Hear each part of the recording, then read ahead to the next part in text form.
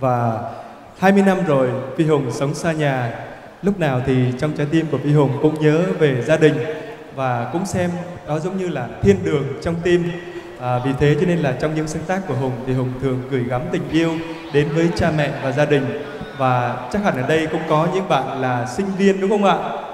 Có không ạ? Có bạn nào là công nhân không ạ? À, đã ai à, từng có những mùa Tết không được về nhà sum họp với gia đình rồi ngồi khóc một mình không ạ? Rất nhiều đúng không ạ? Và Phi Hùng luôn đồng cảm với tình yêu đó. Phi Hùng đã viết lên một bài hát có tựa đề Nỗi lòng xa xứ xin được gửi tặng quý vị.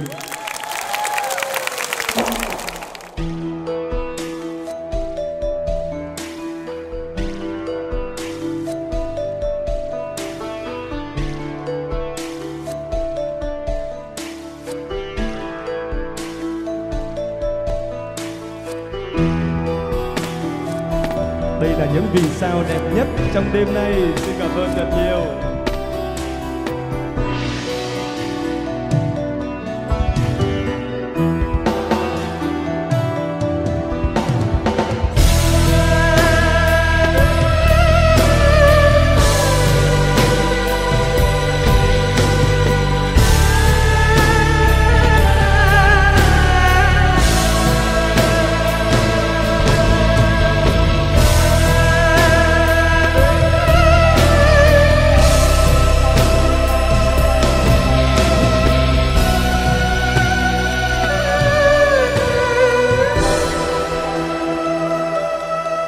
Một mình nơi đây nhớ thương chốn quê nhà. Cuộc đời công nhân bao bộn bề âu lo. Ta tìm gì đấy giữa sao hoa thị thành.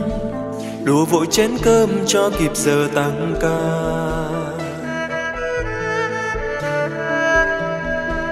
Phòng trò đơn sơ bữa cơm với dưa cà. Bạn bè quanh ta bao mọi miền quê xa lưu lạc về đây sống tha phương từng ngày. Phận đời nỗi trôi theo dòng đời mưu sinh. Thương mẹ cha đang mong chờ con từng giờ. Thương đàn em thơ ngây vang tiếng cười đùa. Mưa lũ tràn về trắng xóa cánh đồng xanh. Mái nhà yên ấm bông hoa mong manh. Mong một mai cơn giông tố sẽ dần qua. Chút tiền lương bao năm con gửi về nhà. Mong gia đình mình được sống yên vui. Nỗi lòng xa xứ chẳng thể nào nguôi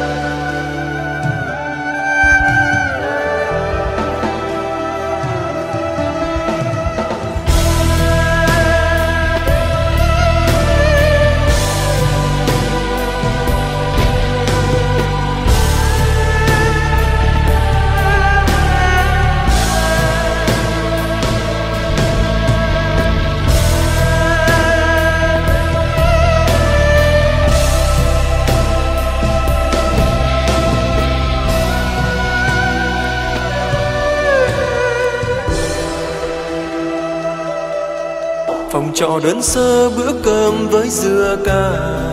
Bạn bè quanh ta bao mọi miền quê xa. Lưu lạc về đây sống tha phương từng ngày. Phận đời nổi trôi theo dòng đời mưu sinh.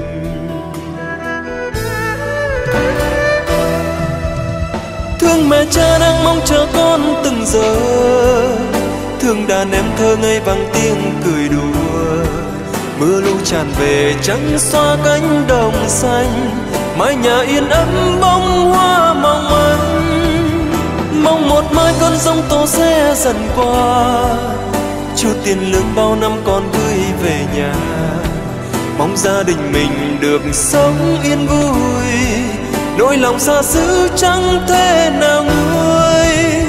Thương mẹ cha đang mong chờ con từng giờ đàn em thơ ngây vang tiếng cười đùa. Mưa lũ tràn về trắng xóa cánh đồng xanh, mái nhà yên ấm bông hoa mong anh mong một mai cơn rông tố sẽ dần qua. Chút tiền lương bao năm còn tươi về nhà. Mong gia đình mình được sống yên vui, nỗi lòng xa xứ chẳng